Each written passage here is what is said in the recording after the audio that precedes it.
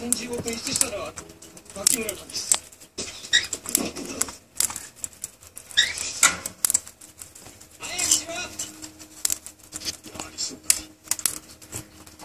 それほどの武装こそなかなかできるどんな力が働いた。牧村には叔父がいます警察庁の大物でした彼がすぐ叔父に泣きつきました。の不祥事を隠蔽するため彼は生贄を作り出したんですそれが悲しだったというわけかあの日悲しさんは非番でした。拳銃を紛失するはずがないんです